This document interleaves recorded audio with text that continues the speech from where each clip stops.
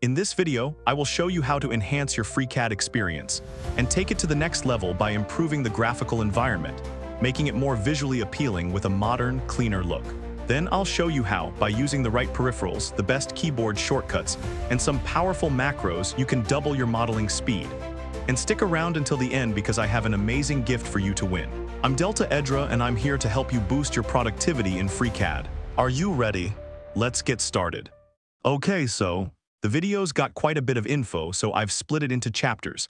I'll start by showing how to improve your user interface. If you're here to speed up your modeling workflow, that's in the second part of the video. The first time you open FreeCAD, you'll see the initial pop-up window asking you to choose a theme, a language, a navigation style, and so on. You can continue while keeping the default settings. Since I mainly use the part Design Workbench, I'll click on the parametric part icon to start a new project. The first thing you'll notice if you're new to FreeCAD is that the interface can feel pretty overwhelming. There are windows and panels everywhere. This can be quite confusing, especially if you're coming from another software like Fusion. So the first thing we're going to do is clean all that up. By right-clicking on the menu bar, we'll uncheck all the toolbars we don't use or rarely use. In the end, we'll only keep structure and the part design tools checked. Of course, if there are tools you use frequently, you can leave them enabled. As for the View tools, we can access them by right-clicking in the viewport. For me, the remaining tools are the most important ones for modeling in part design. We can reorganize them by aligning them next to each other. Simply click and hold the left mouse button on the separators and drag them side by side. The viewport is starting to breathe a little easier now. You'll notice a drop-down menu in the top left that contains all of FreeCAD's native workbenches. The default setting is a drop-down menu, which is great for saving space, but it can be a bit inconvenient at times. We're going to change this drop-down menu into a tab-style menu. To do this, go to the Edit menu, then click on Preferences. In the window that opens, locate the workbench line and click on it. To change the layout of the workbenches, go to the Workbench Selector type setting and choose Tabbar instead of Combo Box. In the window above, all the workbenches installed in FreeCAD are listed, each with its own specific features. In my case, I don't use all of them, so I prefer to limit the ones that are displayed. I'm going to uncheck most of them, keeping only Assembly, BIM, Draft, Part Design, Part, Spreadsheet, Surface, and TechDraw. These are really the workbenches I use the most, the ones I use for 90% of my projects right now. Now, I'm going to check the autoload boxes for all the workbenches I've kept. This allows me to use the tools from each workbench without having to open the specific workbench. I can then click on Apply in the bottom right of the window. FreeCAD will now load all the settings, which takes a few seconds. Don't worry if you see the window flicker.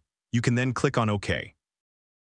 Be very careful at this point and make sure to click on Restart later. If you don't, you'll lose all the toolbar arrangement we just did. Make sure to click on Restart later. I know it may seem counterintuitive, but to apply the changes, we're going to close FreeCAD by clicking the cross in the top right corner. When you reopen FreeCAD, you should see that the settings have been applied. Before continuing, close the Welcome page from the BIM workbench and click on Parametric Part again. The toolbars are now all on the same line. We're going to move them back down to the lower row. Once that's done, right-click on the menu bar and select Lock Toolbars. To apply this layout to all workbenches, simply open each of them a few times and it should become consistent across all of them. You should now have the different workbenches on the first row, and the specific tools for the active workbench on the row below. This is already better than the default setup. Now let's focus on the model and task panels. Right now, both menus are combined in the same window.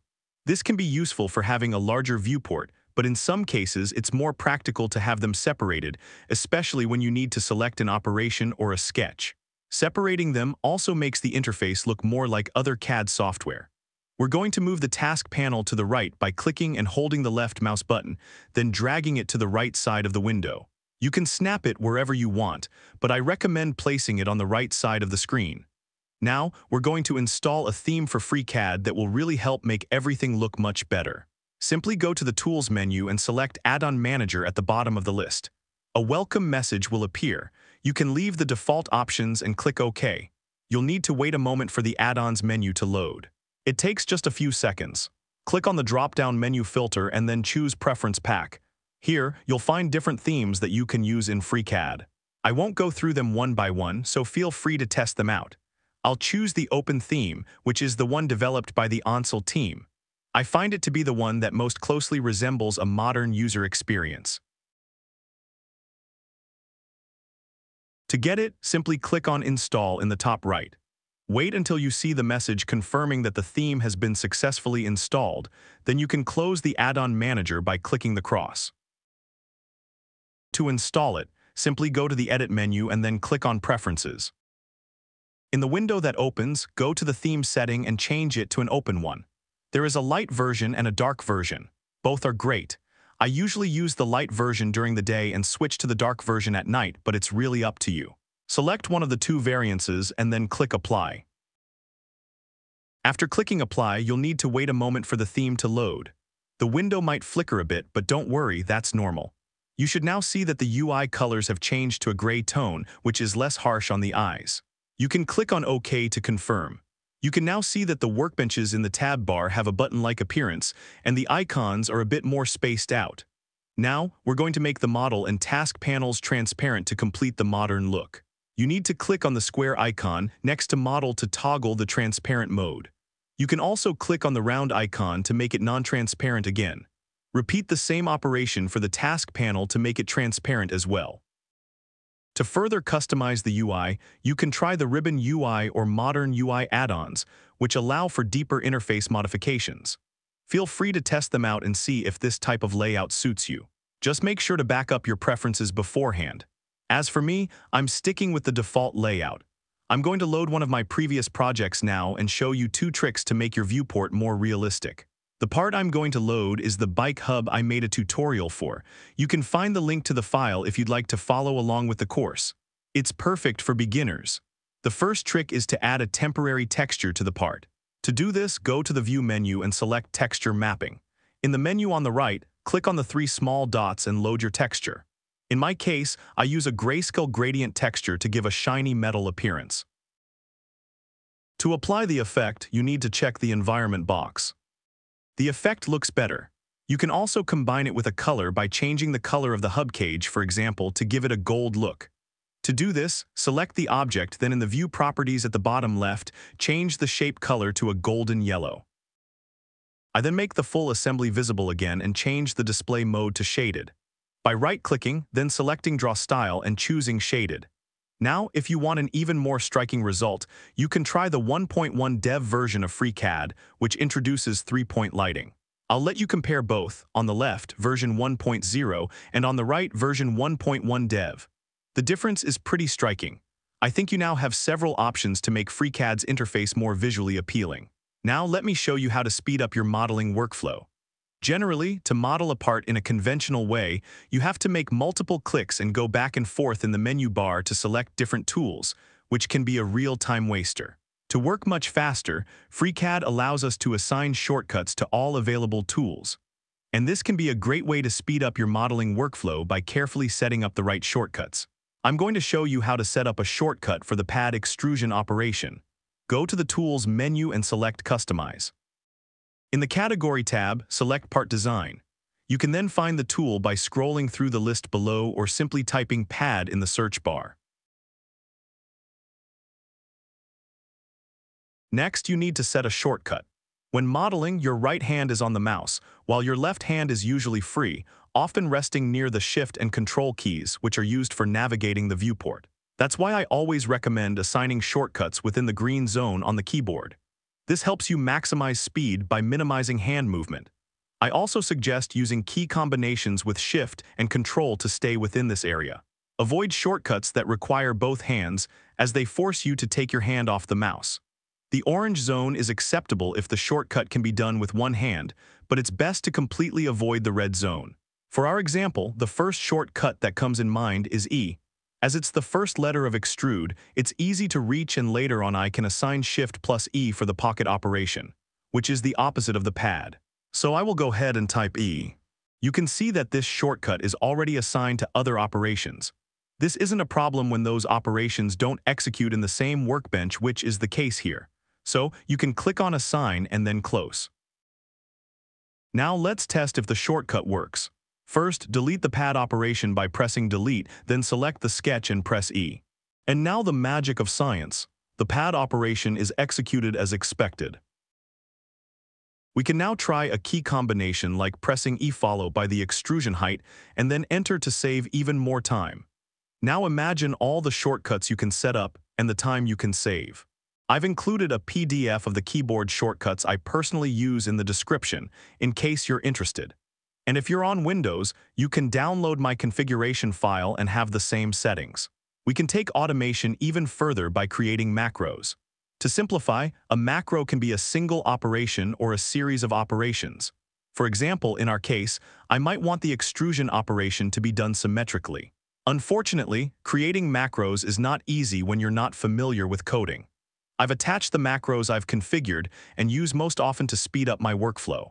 To load a macro, you need to go to the macro menu, then click on the word macros. In the window that opens, you can see the path where your macros are saved. Since you just downloaded the latest one, you can click the three small dots to load the folder where you stored your macros. I recommend creating a specific folder that is easily accessible, where you can save all your macros. You should then see the pad symmetric macro appear in the central window. If you want to assign a shortcut to it, you must first create a toolbar icon for it.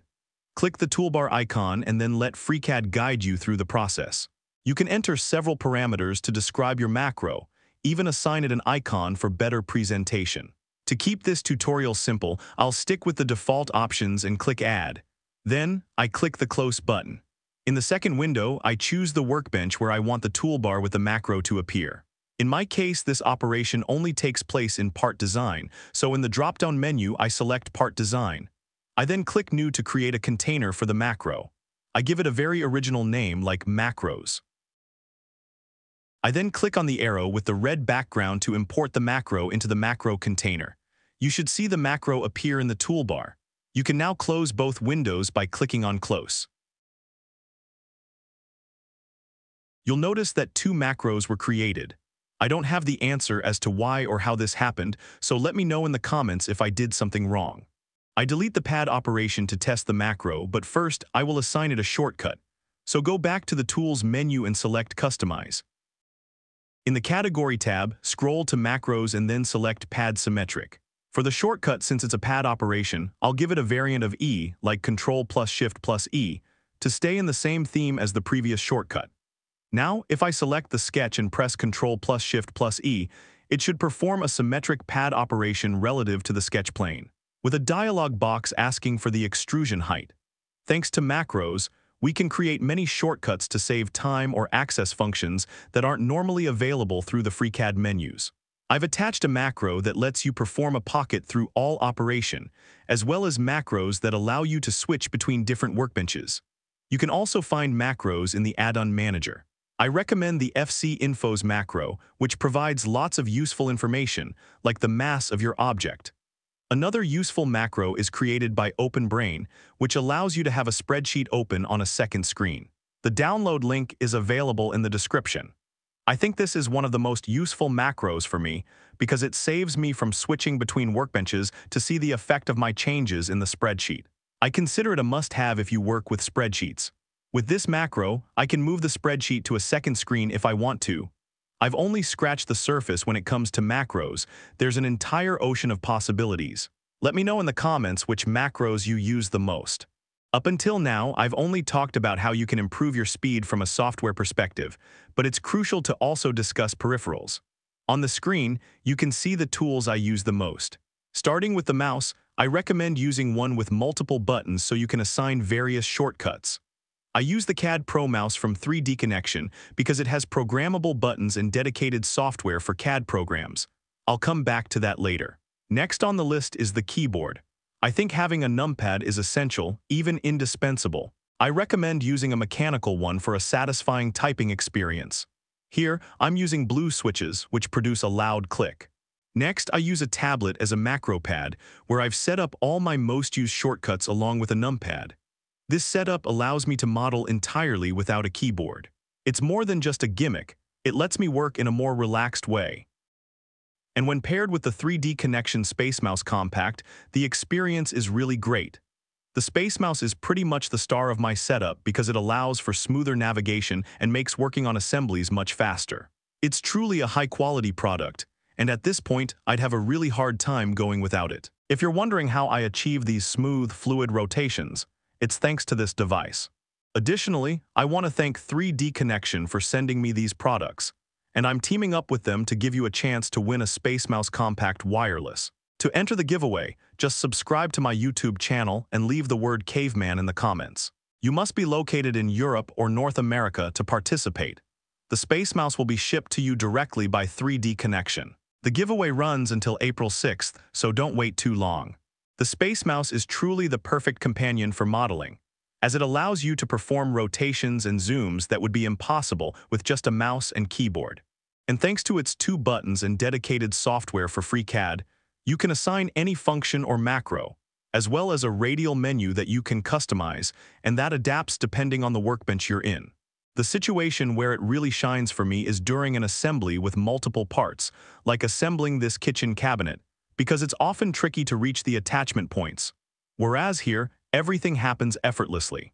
I'm going to show you how I set up my mouse to speed up my modeling workflow. Thanks to the proprietary software, I can easily assign the functions I need.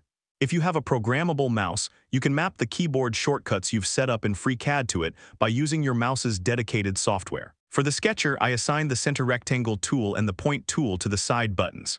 For the middle button, I set up a radial menu with the drawing tools I use the most, polyline, circle, rectangle, and B-spline. If you're interested in radial menus, you can create them directly in FreeCAD by using the Pie menu add-on. It's a bit more complex to set up than the 3Dconnexion one, but you can get a similar result. I want to have my drawing tools on the mouse, and the constraint tools accessible through the keyboard shortcuts. Now watch how I can quickly draw without having to go back to the tools in the menu bar. This saves a lot of time, especially when combined with the constraints keyboard shortcuts.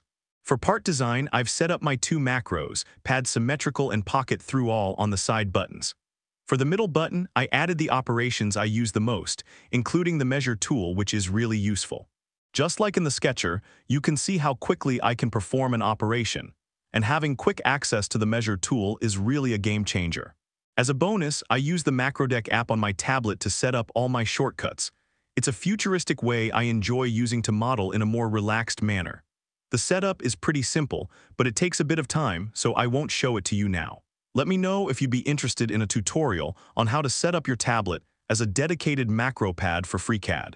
To finish the video, I'll do a quick comparison for modeling this part. It's just a small link, easy to model, that uses the basics of 3D modeling. On the left side of the screen, I'll model it using all the techniques I've shown you so far. On the right side, I'll model it using only the menus, no shortcuts or macros. If you'd like to try modeling the part yourself, you can download the drawing from the link in the description. I start by drawing the primitive shape of the part using the Circle tool and the Polyline tool.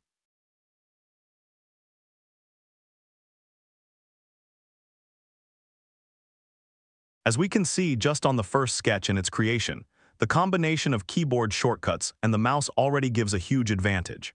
To create a symmetrical pad, I use the macro I've bound to my mouse. It's really a huge time saver, between the time it takes to click on the icon and adjust the settings in the right menu, I can already move on to another operation before the one on the right is even finished. If you're wondering how I did the pocket through all, I use the second macro on my mouse. You don't have to do it through a sketch, you can easily select a face and create the pocket. That's what I'm doing here. As you can see on the left with the shortcuts, macros, and Space Mouse, I've already finished the part, while on the right I'm barely halfway through. Also note that I'm not very fast. I think with more practice, it's possible to go even faster. If you've modeled the part, feel free to let me know how long it took you. I'm sure there are people who can do it much faster.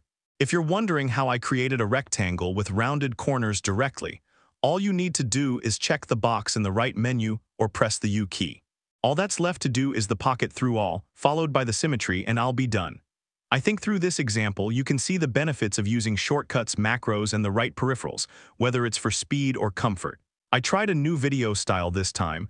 Even though it's still about FreeCAD, it's different from the usual tutorials I make. Feel free to let me know if you liked this format. I hope the video helped you learn something or at least entertained you. And don't forget to enter the giveaway if you want a chance to win a fantastic Space Mouse wireless. Thanks for your attention.